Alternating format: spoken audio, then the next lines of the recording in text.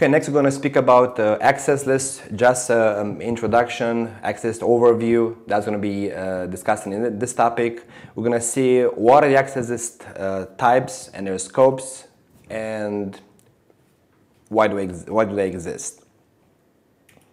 So access lists primarily are used for traffic classification and based, there's going to see based on the access list type or version, it can be used to match or to classify the traffic for other for further purposes based on either the layer 2, layer 3, layer 4 header or a combination uh, of those headers. Now, based on that, we have something which is called a non-IP access list, which is going to be whenever you match on the layer 2 header, and of course it's going to be whenever you match on the layer 2 header for clearly non-IP traffic. That's going to be based on the ether type value of IPv4 and or IPv6. And then, of course, we have the regular IP access list, um, which is going to be used whenever you want to match on the layer 3 and or layer 4 header. And of course, IP access list means we can, we're going to speak about both IPv4 and IPv6 implementation uh, in there. Now, what is the scope of access list? Why do we have them? So we can use them for control plane. For example, we can control plane, we can use them for route filtering or uh, AD change, so manipulation of the admin distance of a routing protocol. Just one example.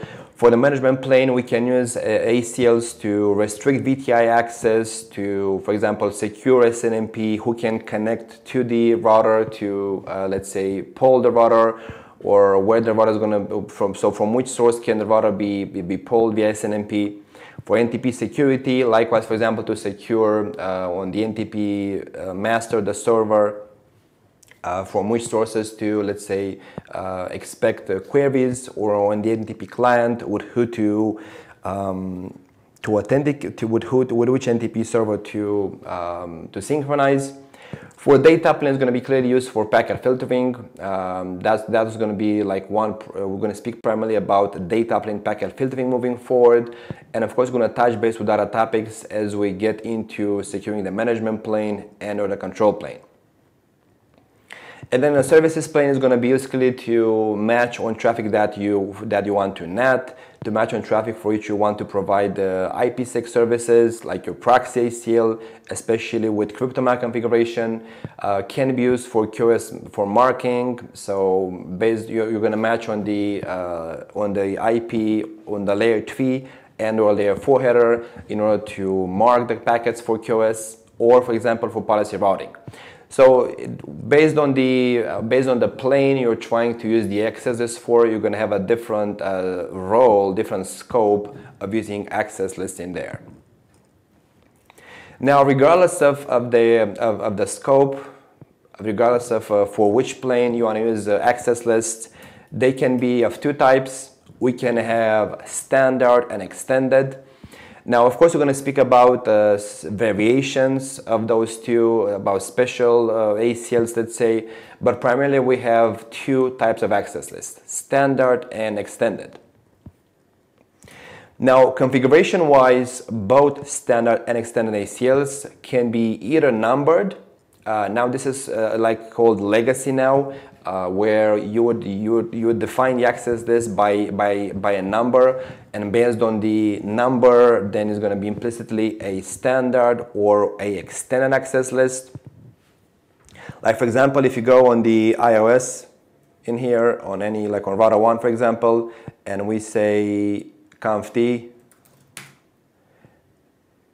IP access list and if we hit question mark uh, let's say just access list is going to be the way to configure the name ACL. So access list, if you question mark, then you have in here two ranges. Based on the number, you're going to be able to make them either IP or non-IP. We're speaking now about uh, IP access list. So now we have, for standard ACLs, we have two uh, number ranges. It's going to be the first one from 1 to 99 so if you define an ACL with a number from 1 to 99, it becomes standard, 1 to 99. it becomes standard ACL. Likewise, you define an ACL from one from a number between 1,300 and 1999. That's going to be your extended range of standard ACLs, say standard. While, for example, if we speak about the range of 100 to 199, the ACL number, that's going to be your extended access list. And then we have the range between 2000 and 2069, the extended range of extended ACLs. So pretty much it's when you use any of those numbers, the AC implicitly becomes of type standard or extended. Then uh, the named ones, as you're going to see, uh, those is to that's to be your new implementation recommended one. Uh, pretty much is identified by a meaningful name. So the advantage on that is going to be that first of all, you don't have, let's say, a limit of the of the number of the access list assuming that would have been a problem with, with numbered, uh, let's say that you would have a limit of the, of the number of the ACLs you can configure. So with named, you have no more limit.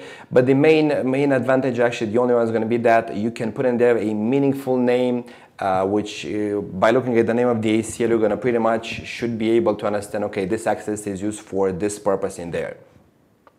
Now both access list of course support something which is called remarking. So any uh, line can have a remark attached to it. That's additional, but uh, primarily you'd, I, you'd, you'd like to have a, a name in there to uh, better identify the scope of the access list.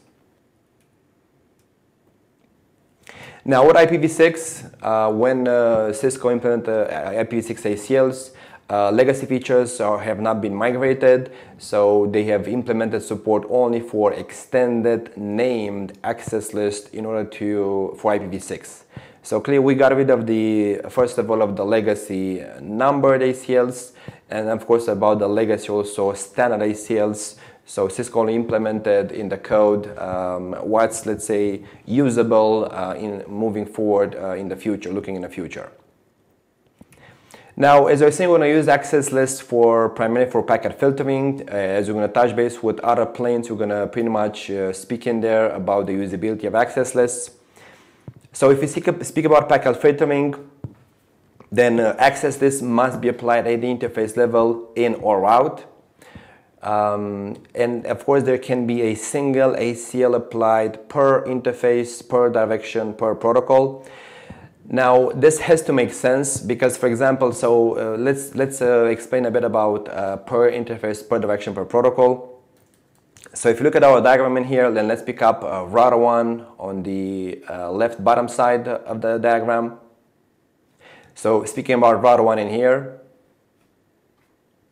clearly it doesn't make sense to have, for example, inbound in here on this interface, on the GIG01 interface, why would you have inbound in an inbound direction, for example, so why would you have in the inbound direction, let's say two IPv4 ACLs? So it doesn't really make sense. Uh, it's, it's logically that uh, there is a restriction in there because why would you have to want to put two access lists? Which one should take precedence? Because clearly you cannot combine uh, the rules in there. So for that reason, they don't let you put multiple access lists. You have to put only one ACL um, per direction in or out, and then per protocol. So per protocol will mean uh, you can have only one IPv4 ACL and one IPv6 ACL and one so IPv6 ACL and one non-IP access list per direction in or out. You cannot have two IPv6 ACLs in or two IPv6 ACLs out because it doesn't make sense. Then of course, inbound ACLs, you have to be aware, we're going to speak about this when we go into the details and configuration of each of the ACL types. You have to be aware that inbound ACL matches on both control and data plane traffic. So you're going to pretty much you got to make sure that uh, you don't drop traffic destined to the router uh, by putting an, an inbound uh, ACL as, as a filter, while the outbound access list by default matches only on data plane traffic. So for example, uh, as you're going to see moving forward, if you also take router 1 in here, router 1, router 1 speaks EIGRP, router 1 speaks EIGRP, in uh, AS100 on both the left side on gig 01 and on the right side on gig 00. And we're going to start if you put an inbound ACL, whatever the type is, and you don't allow EIGRP, then EIGRP is going to drop, the adjacency fails. Because inbound access list, and it makes sense being an inbound ACL uh, to give you an option to, to restrict or to control both transit traffic, uh, routed by the router and also uh, control plane traffic destined to the router. While if you put an ACL on gig 00 in the outbound direction, then even though your audio IGRP also in there, you don't have to worry about uh, control plane traffic leaving the router because that, that cannot be matched by default uh, by an outbound ACL. So outbound ACLs were designed only for data traffic, for transit traffic, while inbound ACLs were designed to uh, control both control plane traffic and uh, data plane traffic. Now, if you're asking yourself like why why there's a difference, and for example, like why why with inbound access lists uh, we can match on, on on both transit traffic, data plane traffic, and control plane traffic, you have to understand that back in the days, we didn't have control plane policing or control plane protection. So it made sense that the only way that at that point you would control, let's say, traffic destined to the router was via only a inbound access list. So the IOS was not at that point feature rich to have like uh, you know um, a lot of uh, a lot of options we can have to do, which we can have today to secure the control plane. Back in the days, uh, it was something different. So it makes sense they uh, they they designed the inbound ACLs to match on both data traffic and control plane traffic. As I was saying, uh, you have to make sure you make a logic about everything if you want to have sustainable and uh, for, for knowledge to, to stay long term with you. You have to understand the whys uh, and how it works. Now moving to the specific, the each specific ACL standard access list restriction. So they can, with standard ACLs, you cannot match on the layer 3 protocol it has to be IPv4, so you cannot say like uh, you cannot match, for example, like on, uh, um, for example, on PIM, which which has its own protocol number, or on OSPF. Uh, you can only match on the. It has to be IPv4. You cannot match on the protocol, and you cannot match on the layer 4 header likewise. So pretty much standard ACLs were designed uh, a long time ago to match on the source IP address from the source IP from the IP header and uh, standard ACLs, there's an exception to this rule. If you use a standard ACL uh, to control uh, VTI, to, to do VTI line restrictions in the outbound direction by using a standard ACL, then that's gonna match on uh, your, on the destination of, of the traffic. So for example, as I was saying, that's an exception to the rule. If you go on this router on router one in here, on router 1 and for example you put a uh, online VTI online VTI 04 online VTI 04 you put an access class on a restriction access class access class uh, ACL out ACL out.